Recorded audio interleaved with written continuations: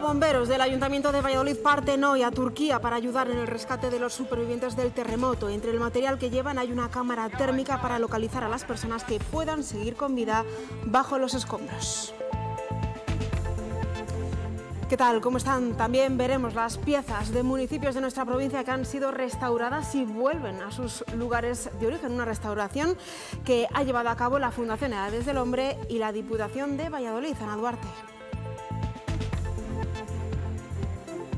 Son cinco las imágenes restauradas que se encuentran aquí en el monasterio de Santa María de Balbuena para ser devueltas a sus municipios de origen. Imágenes que han sido restauradas gracias a un convenio que lleva 20 años y 108 piezas restauradas. Ya conocemos las actividades de Vaya Tarde y Vaya Noche organizadas hasta el próximo mes de mayo. Hay más de 200 talleres diferentes. Ha aumentado mucho el interés por los de cocina y también por las propuestas al aire libre. Estamos llenando los barrios de Valladolid de instalaciones absolutamente gratuitas y en este caso el Vallanoche las aprovecha muy bien porque organiza con monitores diferentes competiciones, encuentros, eventos tremendamente festivos que muchas veces huyen de lo que es la mera competición y el ganar o el perder y son encuentros pues, de, de aprendizaje, encuentros de conocimiento de nuevas prácticas deportivas. La de hoy para el Real Valladolid es una jornada de luz. Eduardo, buenas tardes. ¿Qué tal, Laura? Buenas tardes. Pues sí, esta mañana hemos conocido el fallecimiento de Marcos Alonso, el uh, que fuera jugador del Racing de Santander, del uh, Atlético de Madrid, del Fútbol Club Barcelona, hijo de Marquitos uh, y padre de Marcos Alonso. Fue entrenador del Real Valladolid durante dos temporadas en la época de Carlos uh, Suárez. Así que sí, hoy el Real Valladolid, la familia Blanquivioleta, está mm, de luto. Hablaremos de ello, le recordaremos en el tiempo de información deportiva y también abordaremos otros uh, temas como por ejemplo una nueva cita, un nuevo campeonato de España, en este caso de arco recurvo y arco compuesto que desde mañana se desarrolla aquí en la Feria de Valladolid en todas las categorías. Y en lo meteorológico vuelve de nuevo la alerta amarilla por frío. Beatriz, buenas tardes. Sí, buenas tardes Laura. Otra vez la historia se repite. El tiempo nos da una de cal y otra de arena, porque otra vez en la jornada de mañana viernes volvemos a activar esa alerta amarilla por bajas temperaturas que van a descender en algunos puntos de la provincia hasta los 6 grados bajo cero. Las máximas de momento se mantienen como están. Enseguida se lo contamos.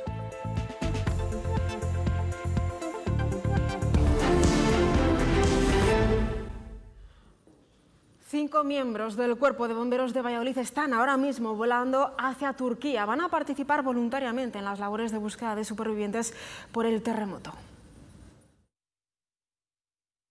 Entre inquietud, eh, nervios, eh, pero sobre todo una disposición tremenda a ir a participar en una experiencia que eh, compañeros suyos que participaron en experiencias anteriores, como el terremoto de Haití, les dicen que no es una experiencia no es una experiencia divertida, o sea, al contrario, como dotación, digamos, extraordinaria y que pueden llevar porque no es muy grande, les van con una cámara térmica que permite detectar a través del calor pues, posible vida entre, entre los restos. El servicio, por suerte, está suficientemente dotado para poder eh, suplir eh, sus puestos ahora en el tiempo que van a estar fuera y, bueno, hay un montón de, compañeros que saben lo que significa esto y están dispuestos a cubrir el servicio.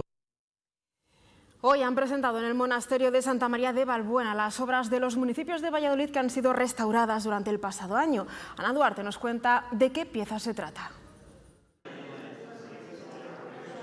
Se trata de cinco imágenes entre las que se encuentra este Ece Homo de Arrabal de Portillo, el Cristo del Humilladero de Villán de Tordesillas, el Llanto de Cristo Muerto de Pedrosa del Rey, la Virgen con el Niño de Cubillas de Santa Marta y San Miguel Arcángel de Bercial de la Loma. Imágenes que han sido restauradas con diversas técnicas gracias a una parte de la inversión del convenio que tiene la Fundación Edades del Hombre y la Diputación de Valladolid con más de 20.000 euros.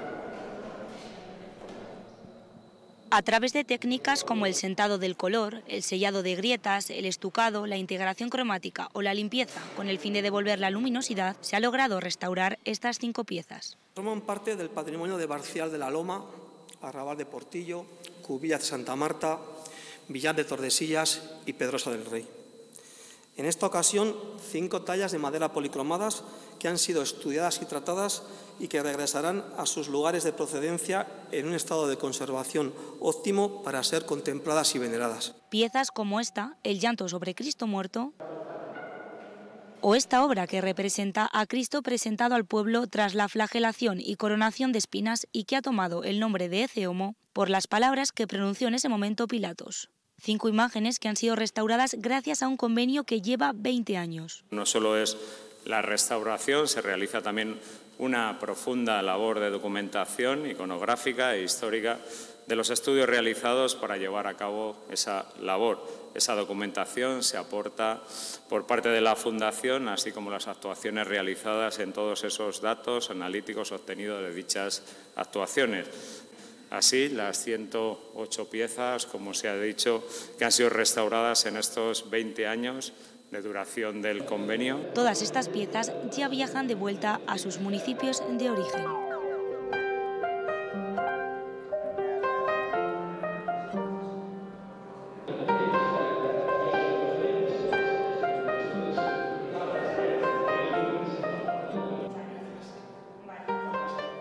Hablamos ahora de otro municipio. Eurocaja Rural abre una nueva oficina en Traspinedo. Es la séptima apertura en la provincia en año y medio. Cuenta con una estructura, con un área dedicada en exclusiva a explotaciones agrícolas y ganaderas, cooperativas, industria agroalimentaria para ayudarles a la hora de solicitar, tramitar y realizar seguimiento de subvenciones al campo de industria. También se ofrece a cualquier particular, empresa, autónomo o institución asesoramiento sobre sus necesidades de financiación, inversión, gestión económica, así como cualquier otro requerimiento.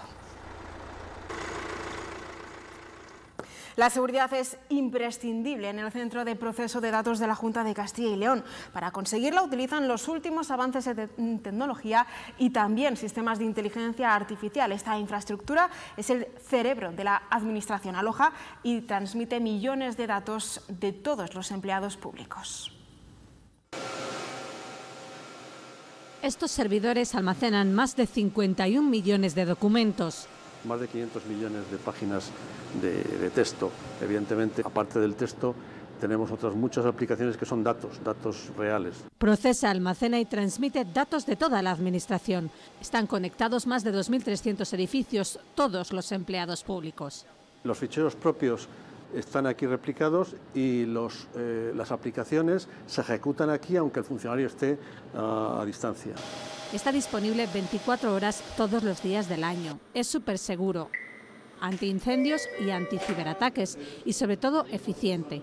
Gasta mucha energía para que estas instalaciones estén a la temperatura adecuada. Puede aprovechar de la temperatura exterior, se aproveche y de esa manera nos ahorremos electricidad.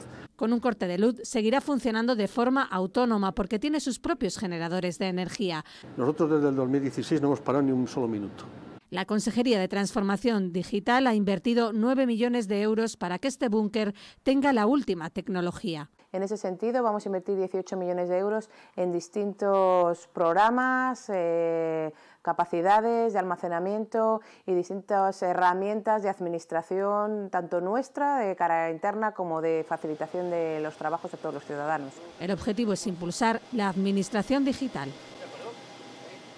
La prueba de acceso a la universidad, la EBAU, finalmente no va a incluir una prueba de madurez. Esa era la propuesta inicial del Ministerio, que los alumnos demostrarán sus conocimientos analizando diferentes documentos y textos. Y no será así, aunque no se descarta que en el futuro se pueda volver a incluir. El Ministerio de Educación da marcha atrás en la prueba de la EBAU. Entre los nuevos cambios que se preparan, los alumnos podrán elegir entre filosofía e historia, podrán optar a tres correcciones en vez de dos y además la prueba de madurez, una de las más polémicas, y las preguntas tipo test no se incluirán. Además, y a pesar de la insistencia de muchas comunidades autónomas, no habrá prueba única, algo por lo que desde Castilla y León insisten seguirán luchando. Mientras exista el distrito universitario único, la prueba de acceso a la universidad tiene que ser única para todo el territorio nacional. Eso sí, celebran la rectificación de muchos puntos de esta prueba. Yo creo que el Ministerio, cuando escucha a las comunidades autónomas, aunque a veces seamos insistentes en esos planteamientos, yo creo que mejora el sistema. Otra de las novedades que incluye el nuevo proyecto de ley son 15 minutos más en los exámenes y también entre prueba y prueba, algo que los estudiantes celebran. Pues que al final del examen o entre exámenes dejen un poco más de tiempo para pues al final te hace estar un poco más relajado, un poco más confiado. Muchas veces sales de un examen con la mente totalmente en ese temario y de repente te tienes que meter a otro examen totalmente distinto y apenas te da tiempo a descansar. 15 minutos a lo mejor te permiten hacer algún ejercicio o darle un repaso a todo. Te da tiempo a despejarte entre un examen y otro. Esta prueba estaría completamente instaurada en junio de 2028.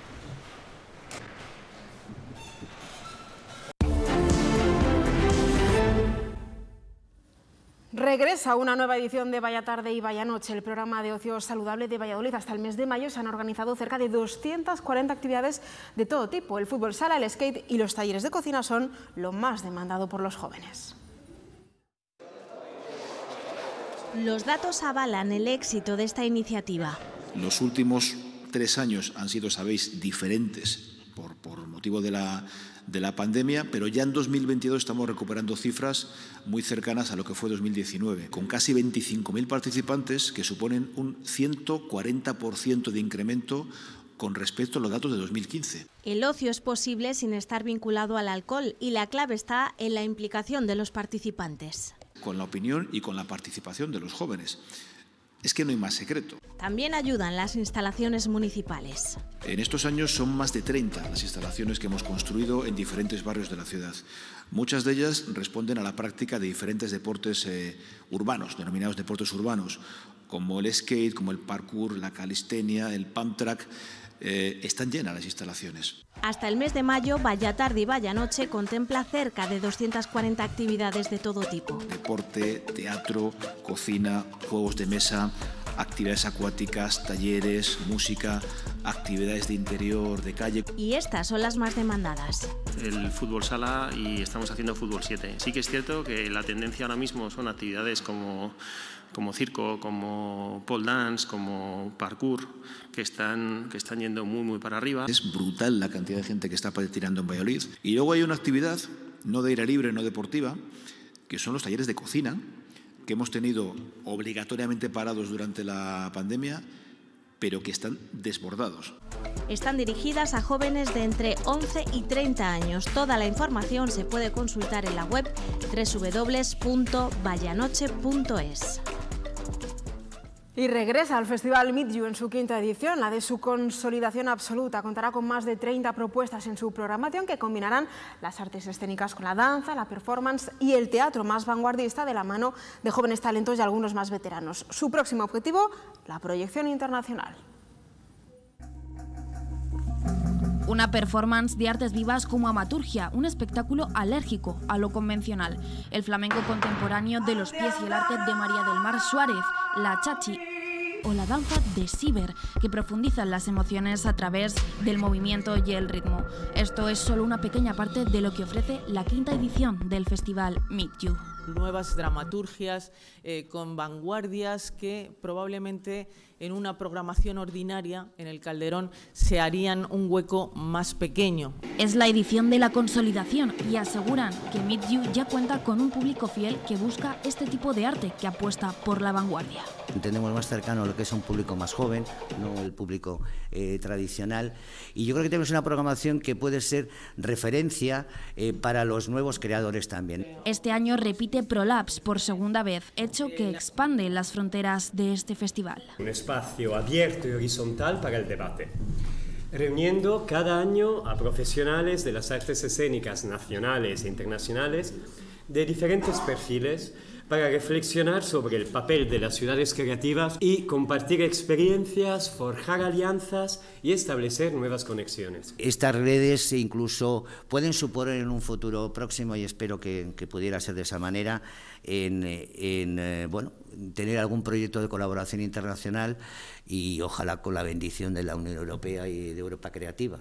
Habrá hueco para el teatro con el futuro y también para la performance como Hybridation. 31 propuestas en diferentes formatos, 4 de compañías y artistas vinculados a la ciudad.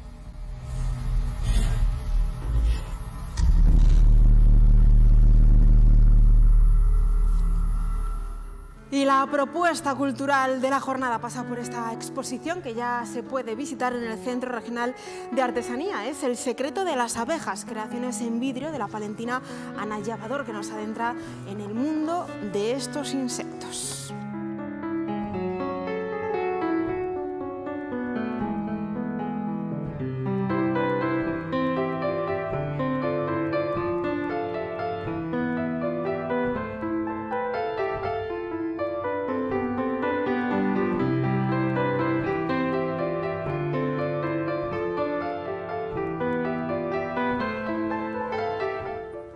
Último apunte, el 29 de septiembre podremos ver en el Polideportivo Pisuerga a Pablo Alborán. Hacemos una breve pausa y enseguida volvemos con los deportes.